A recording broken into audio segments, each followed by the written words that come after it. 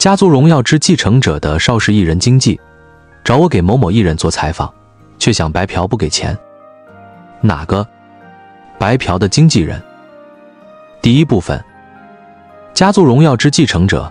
自开播以来，我是唯一全网每集都更新剧评的个人博主，阅读量合计也超过了十万加。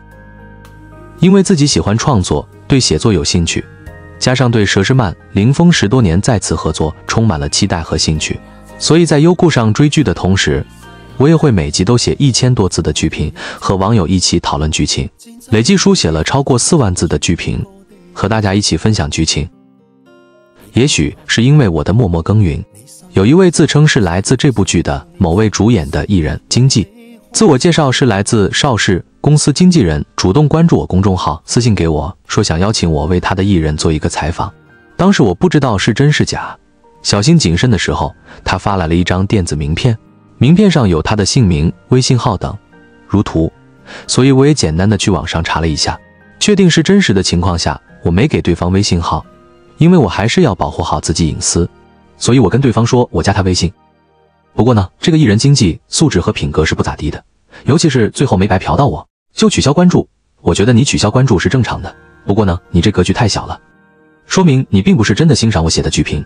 因为后台数据都没他看过我文章的数据，你只是想找个人来白嫖，免费给你做采访的工具人罢了。详细的经过大家可以往下看，容我慢慢道来。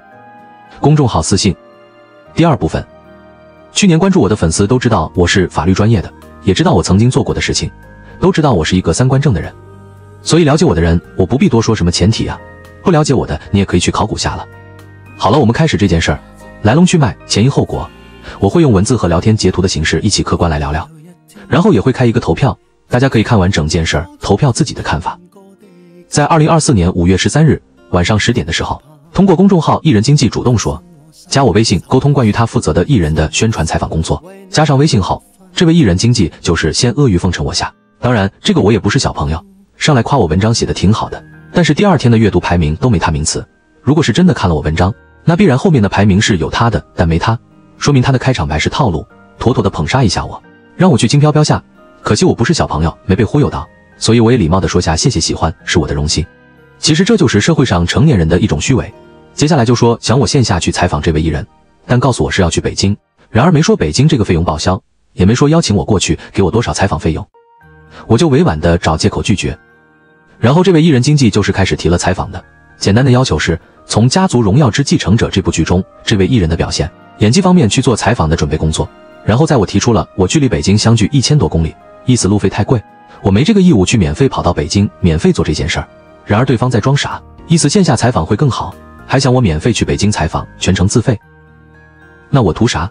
我肯定不答应了，所以我还是委婉的在拒绝中，并且多次强调我不是自媒体，我只是个无名之辈。这种采访有用吗？他就说这是多种发生的时代，始终没主动提到报销路费啊，给我多少采访费啊？全程就是想白嫖，我免费为他做事。可他不知道的是，我不是钱多人傻，也不是钱少人傻的那种人。没钱，我凭什么免费帮你做事呢？你拿工资，你拿钱，我帮你义务打工，然后还损失自己正常的工作收入，我图啥呢？不过这位艺人经纪告诉我，采访时间应该在五月二十三日到五月二十五日这几天里的其中一天。对方看到好像我不想去，他也不提给我费用的事情，直接想把白嫖改变成线上采访的白嫖模式。还要我做采访提纲，然后采访完我还要把采访的内容写出来发布出去，然后还要根据他提供的资料宣传点位去写。感情这主打的是不花钱给自己艺人找一个免费的工具人啊，而且这免费的工具人还是有流量的，在公众号还是比较火的，而且还继续忽悠啊，PUA 我啊，什么我不想见见艺人本人啊，合影啊，还继续套路我啊，我是港剧迷啊，主打的就是想我自费去北京，我呢也装傻也不拆穿，就礼貌的委婉的拒绝。并且谦虚的说，去不了呢，是自己的问题，自己的因素。我能就是，你对方跟我装傻，当我傻子，以为能忽悠到我，那我也陪你忽悠了。我如果自费去北京旅游，那是我个人的事情。但想我自费去北京，免费当工具人做事儿，耽误我三四天的时间，我可没那么傻。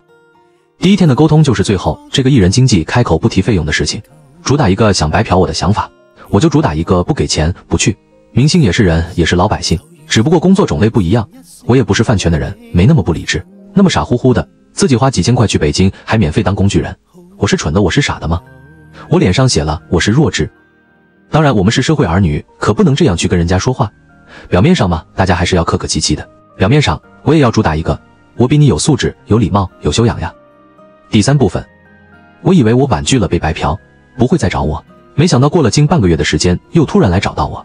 这次找我主打的就是想把白嫖进行到底，一分钱不付我，然后变成语音线上采访，但是还要我出所有的采访的大纲，还要我的采访内容不要重复羊城晚报的采访内容。还要我晚上就给他大纲，你说过分不过分？你不给我钱，你邀请我帮你的艺人做采访，你找人做事不给钱，还当人是员工一样的吩咐做事，吩咐完还要来问我粉丝数量，打探我的底细，还问除了公众号其他地方有没？其他地方有啊，视频号我转视频啊，粉丝数我主打一个，我隐私干嘛告诉你？就是不告诉你。采访内容还要审核才能发，你这采访不就是发出来的都是过滤过的，影迷粉丝看到的，不都是你选择想让人家看到的？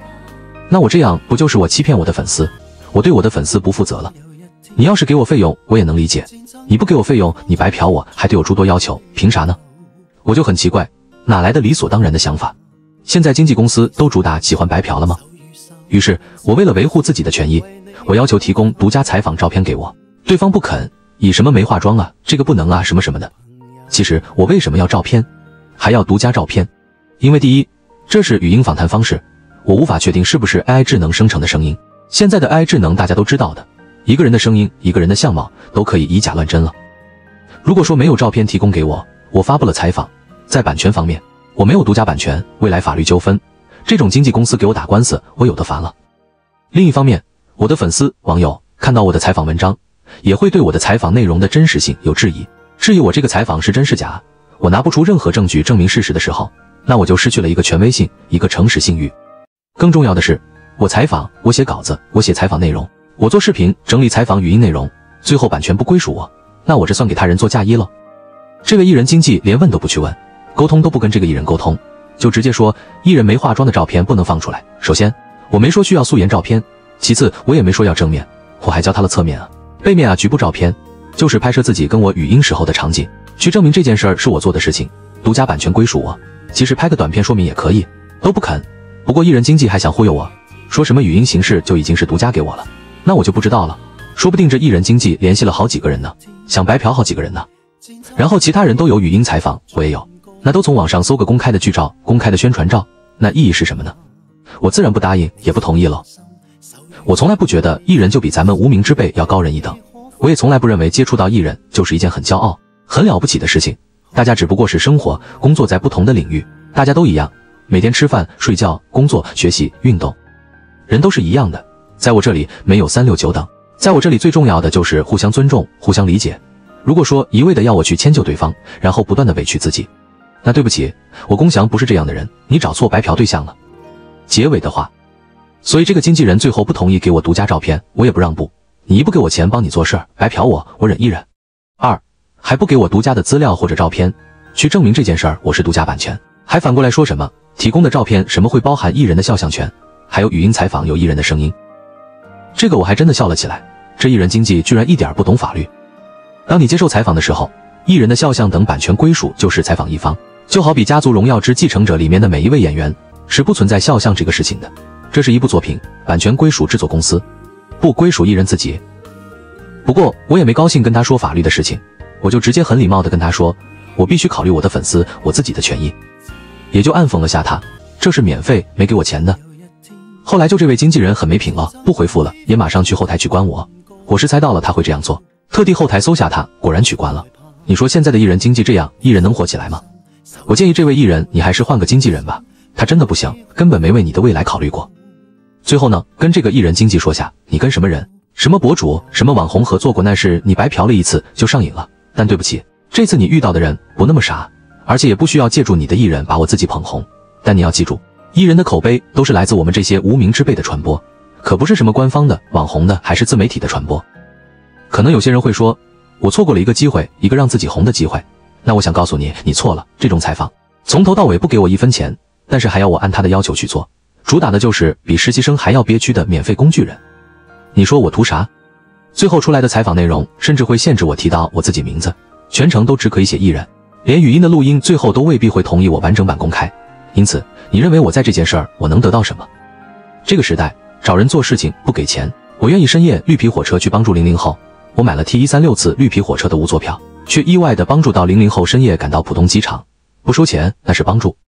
我主动的去帮助需要帮助的人，那叫助人为乐。但你这是艺人宣传，你想红，想多点出镜的机会，红了接戏，收入更高。但我能得到什么呢？我希望以后类似的这种事情，艺人经纪找我可以，麻烦谈好价钱，签好协议或者合同，不要企图在我这里白嫖成功。我虽然不聪明，但我也脸上也没写白嫖两个字。至于是哪位明星的经纪人，这个瓜就吃到这吧。我可以告诉大家，请大家放心，不是佘诗曼，也不是林峰的经纪人，因为他们两个人不是邵氏旗下的艺人。